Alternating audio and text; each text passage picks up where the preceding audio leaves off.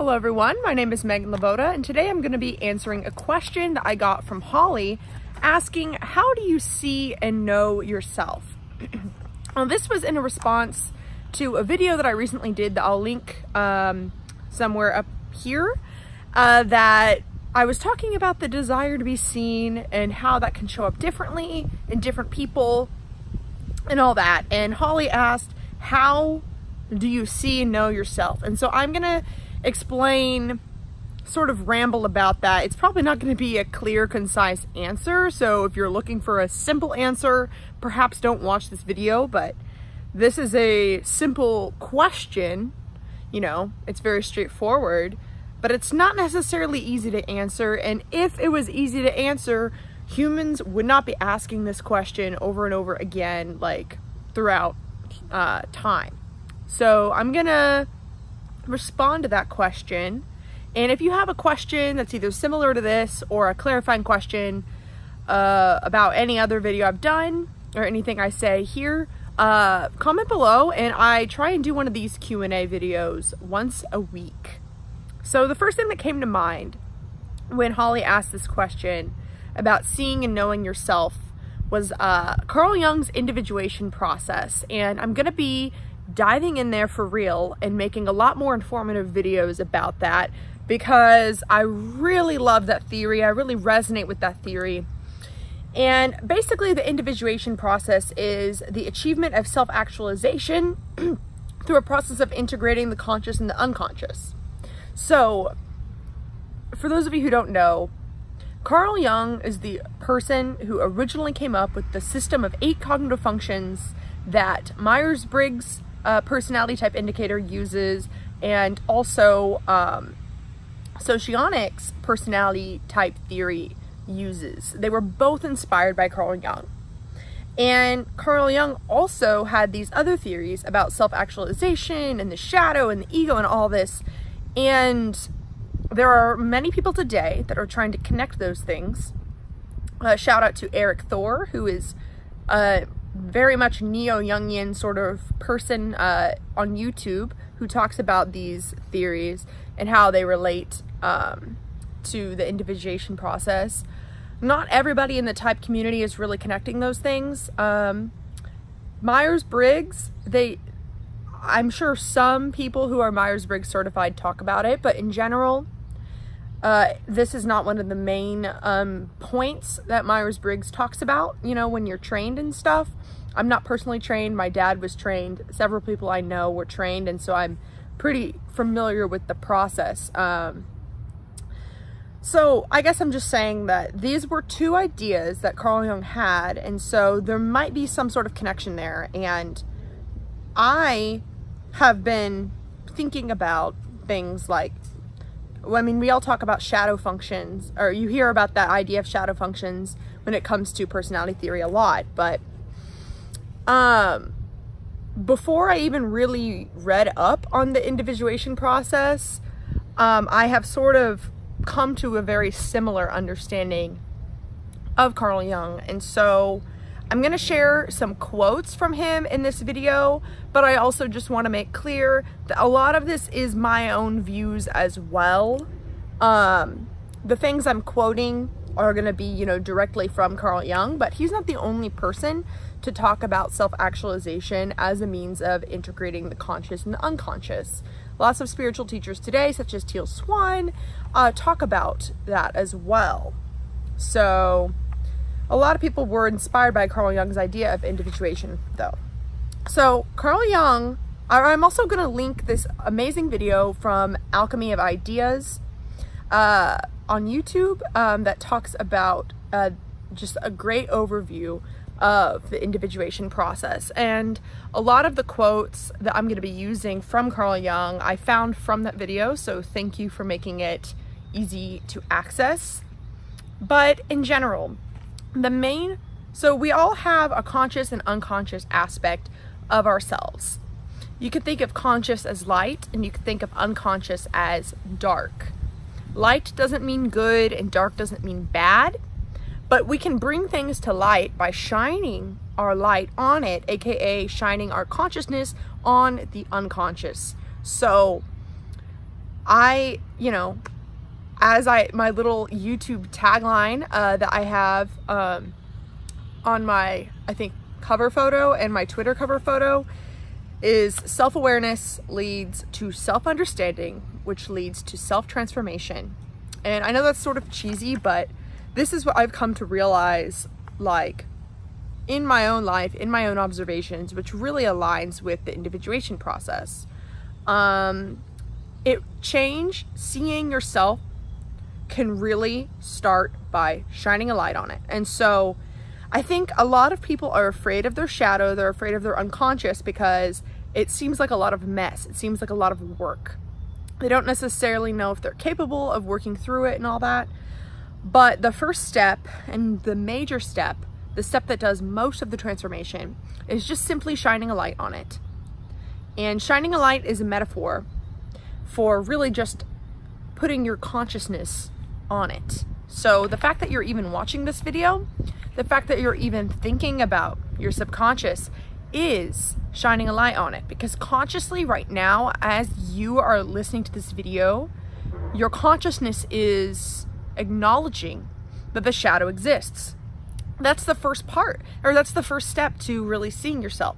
That's the first step to understanding yourself. The more you focus conscious attention on something and the deeper your focus the more you can understand it but again the first step is shining your light on it being aware that your shadow even exists. Because the thing is, we all have a persona. So we have the ego that is, or I'm not going to define these things right now. You can look them up. We have the ego, we have the shadow, then we have the persona. And what I was going to say about the persona is that um, we all craft these sort of personas of how we want to come across to people. And the more we attach ourselves to these personas, the harder it is to truly see and know yourself. So connecting that back to the question.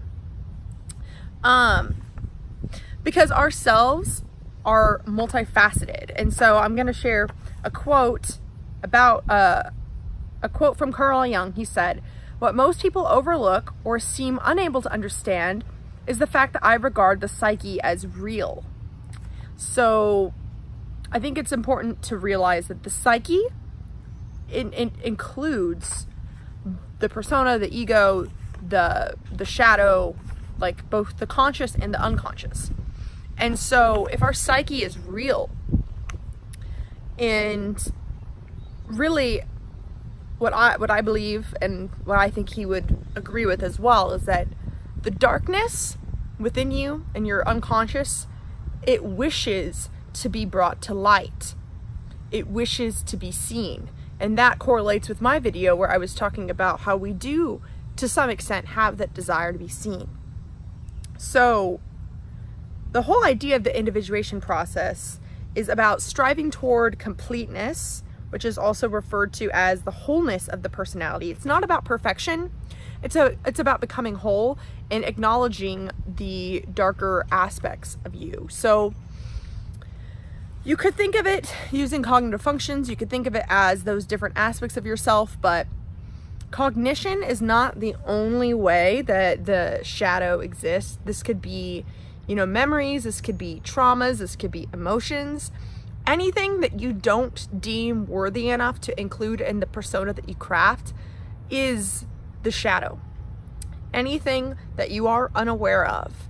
And the desire to become aware of it is the first step because once you're aware, then once you're looking at what's going on, it becomes easier to understand because the natural um, desire of the shadow is to be seen. And so, and I'm to go into this metaphor again. I know that this is sort of cheesy. It might seem trite. It might seem difficult to understand despite uh, simple to explain, but it really is as easy as flipping a light switch on. When something's dark, you can't see what's going on. Um, it's mysterious. It's not, you're not aware of it. You just literally flip the light on and then that's no longer the case. You can't ignore it anymore. And most things in the shadow we wish to ignore. And so to truly see and know yourself, you have to be willing to flip the light on And a lot of us, as I mentioned before, we're worried about entangling. We're worried about all the effort it might take to untangle everything that's going on down there. And I resonate with that. I understand why people would fear that. Uh, but it is as simple as turning the light on. You will understand what to do once the light's on and it you won't be able to pretend it's not there. It's not about what to do.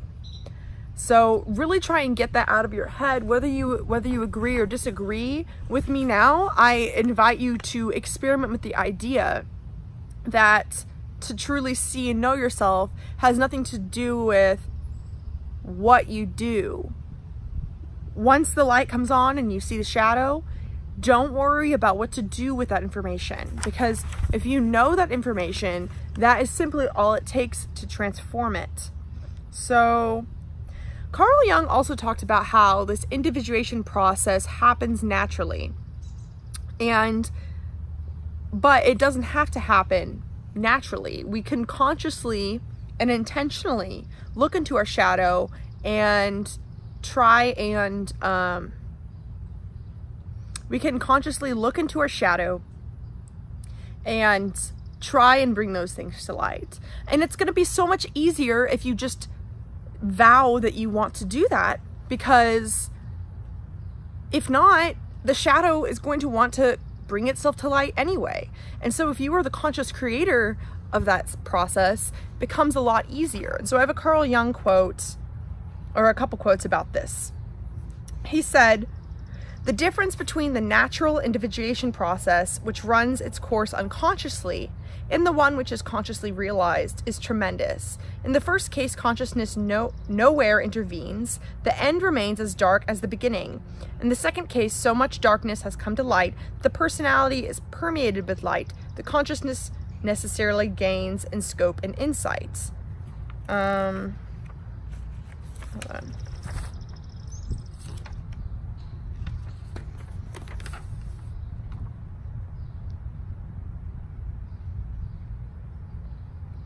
So, and then here's another quote. Uh, what on a lower level had led to the wildest conflicts and to panicky outbursts of emotion now looks like a storm in the valley seen from the mountaintop. This does not mean that the storm is robbed of its reality, but instead of being in it, being in it one is above it. So, pretty much, um, shining a light on your shadow is like being in the eye of the storm it is wi being willing to go into the storm, going into the the darkness and trusting that you will be in the eye of the storm. Because when you're in the eye of the storm, it can't hurt you. You are in the storm. You are one with the storm. You're becoming whole. It is um it's nothing to fear because it is you is the whole idea of integration.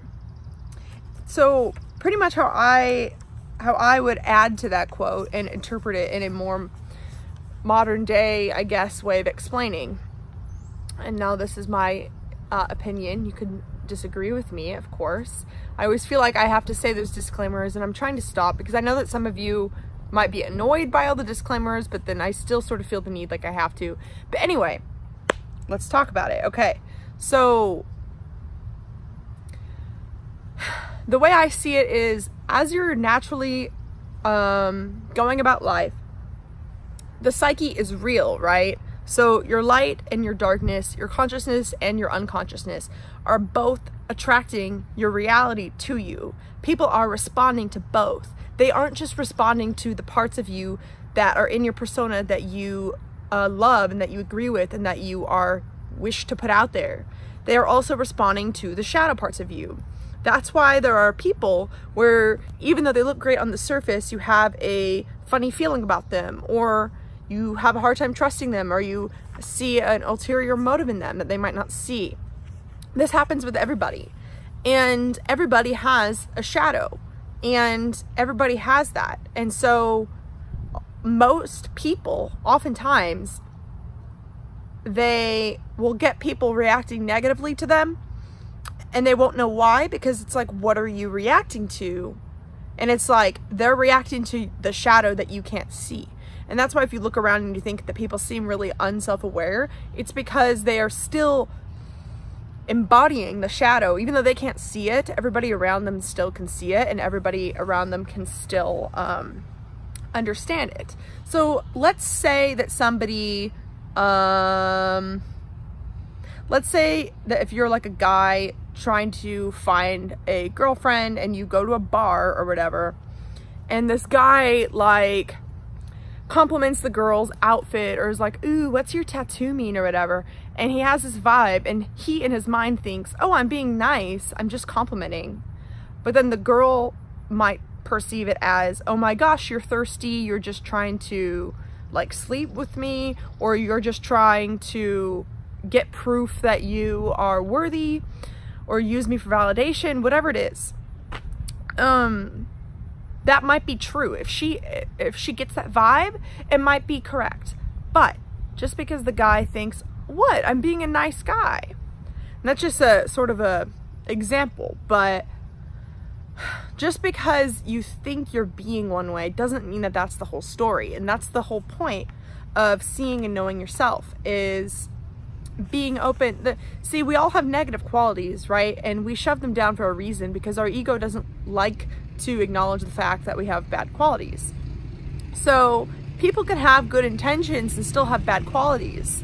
Like that guy in the example probably had a good intention and there also was nothing wrong with him having a desire to be worthy and there was nothing wrong with him wanting to be loved.